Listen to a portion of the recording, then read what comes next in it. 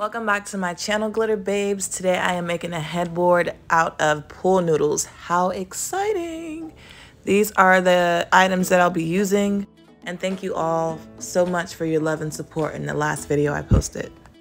I'm gonna first start off in the corner and I'm gonna be attaching the pool noodles.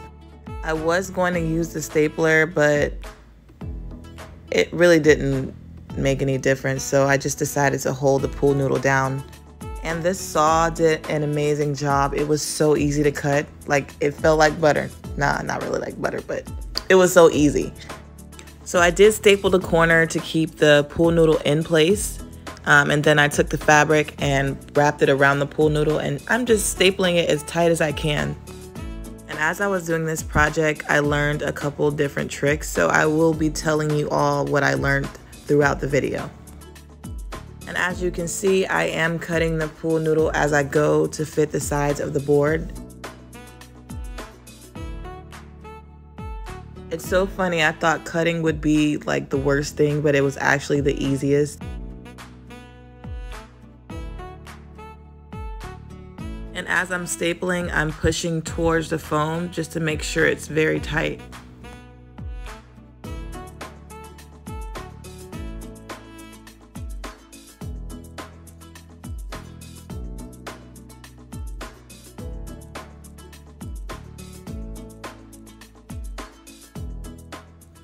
And when I was doing this project, I never intended for the noodles to be curved, but I think this is where it started to curve and I really didn't realize until I finished, but I love the curve at the end.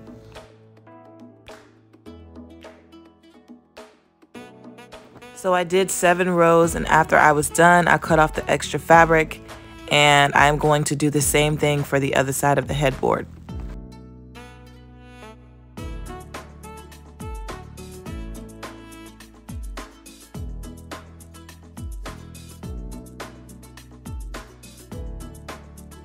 Now I am taking my pool noodles and I'm just measuring for the other side. I felt like this was going to be a lot easier so I didn't have to cut piece by piece like I did this side. And I did recycle those extra pieces of the noodle and I am using those for the other side also. So for those who are wondering, I did reuse a lot of the pieces.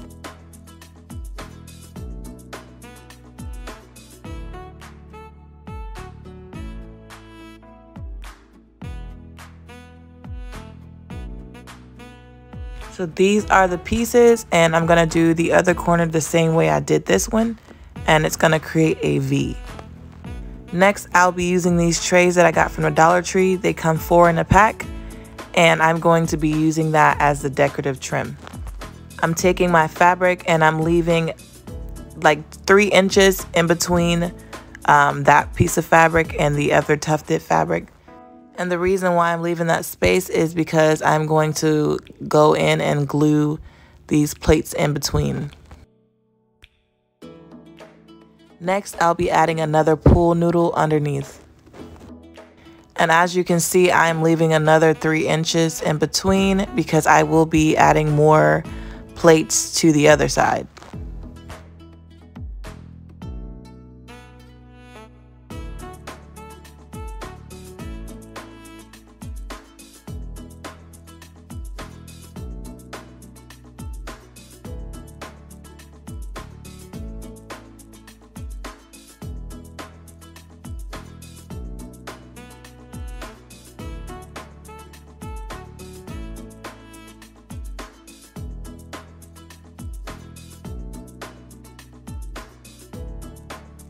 And I'll be doing a total of four pool noodles going in this direction. I feel like I cannot say pool noodle. Pool noodles. All right, that's it. I'm just gonna say noodles, okay? Four noodles going in this direction. And if you're thinking about doing this project, make sure your fabric is stretchy. You don't wanna do this with like a silk or something like that because it won't turn out right.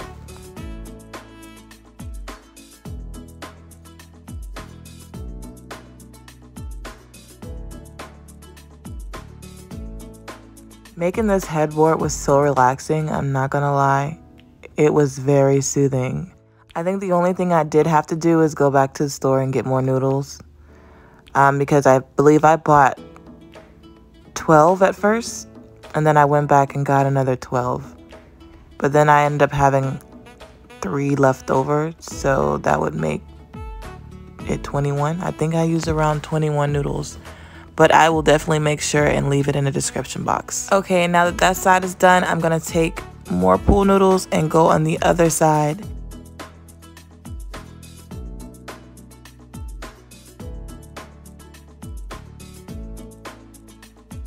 So I first started off by stapling uh, the fabric to the other fabric. And like I said, I learned a lot throughout this video. Um, but I was doing this so that the noodles would be tufted in the front. But I did find a better technique and I will share that with you in a sec. And also remember, I am leaving a three inch space in between the noodles for the trays. And I did call the trays plates earlier so I hope I didn't confuse y'all, but it's a tray. So I'm adding the second noodle and I'm stapling it down. And here is where I realized like I can't staple the fabric in the front because it wasn't enough room for the third noodle. So I had to pull the staples back up. And I'm so stubborn, I was really trying to make it fit. It was not gonna work. So I decided to pull the staples up and then tuft that extra fabric in the front underneath the pool noodle and staple it down because it worked just as just as good.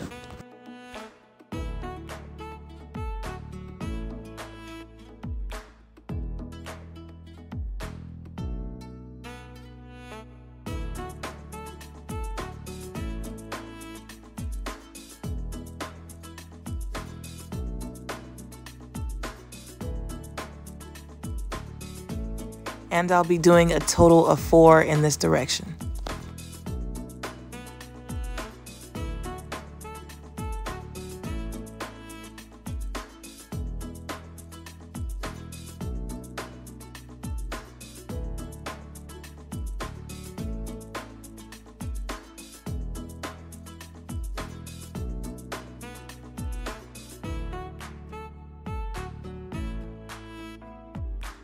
And I'm cutting off the extra fabric.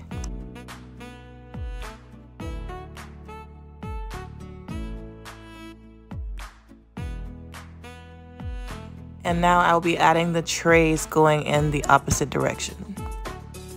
And I am using a combination of hot glue and E6000.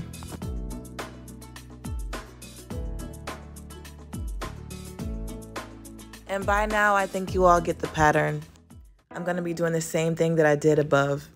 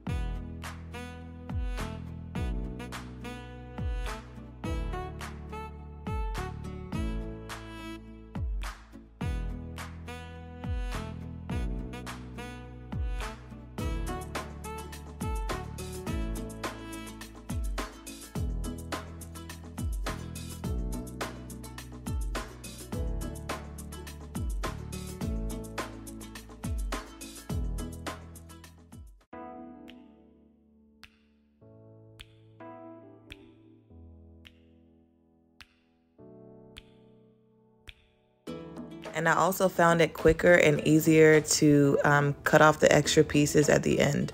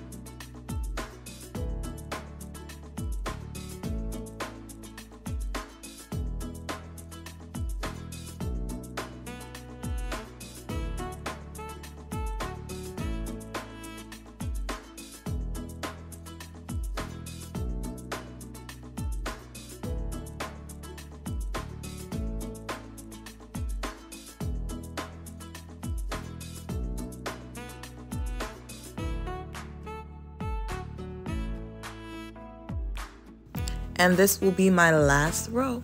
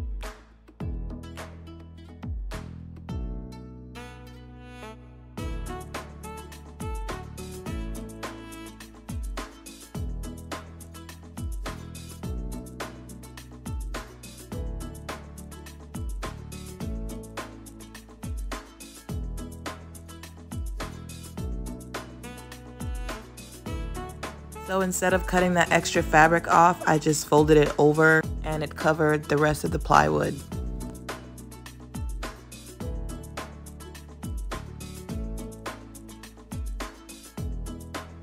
Then I turned the board around and I'm just stapling the fabric down and I'm cutting off the excess fabric.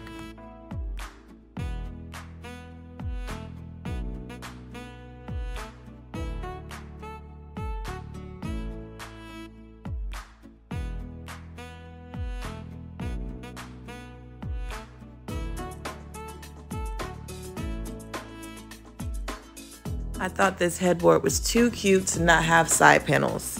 So I'm taking two foam boards and taping them together.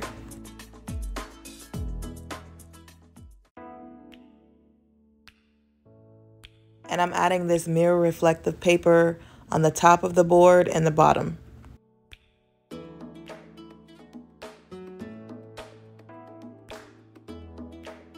I then got this body mirror from Walmart and I did spray paint it silver and I centered it in the middle and I'm just making marks so that I know where it goes. And I also took some of the mirrored adhesive paper and added it to the plywood to cover that those pieces that were showing because the trays didn't cover everything. Now I am hanging this baby up. She looks so pretty. Shout out to the Cuzzos for helping me out um, with hanging it up. It wasn't really heavy, but I wanted to make sure that it was um, centered.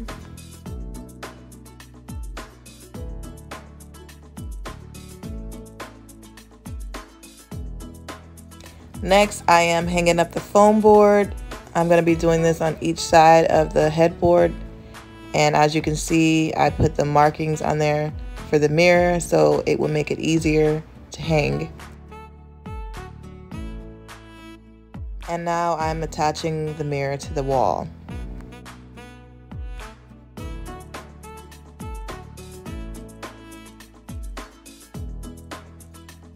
Now I'll be using these trays that I got from the Dollar Tree to create a frame around the mirror.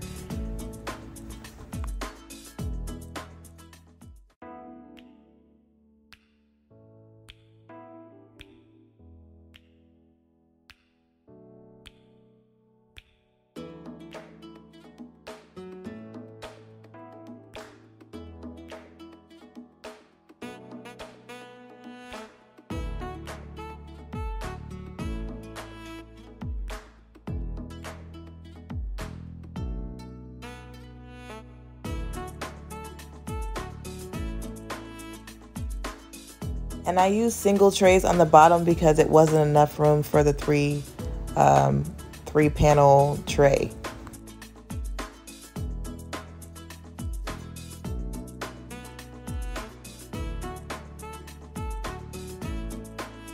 And I'm doing the same thing for the other side.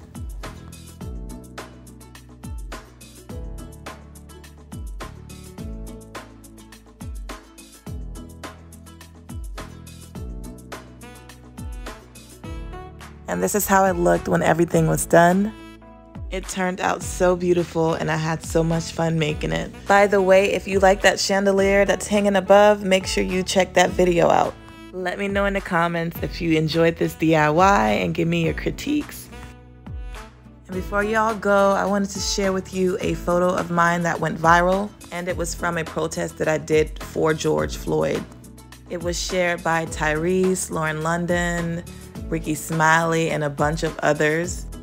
So I did decide to make some shirts, and the shirts say, I wish a Karen would. So if you're interested in purchasing one, the link will be in the description box below.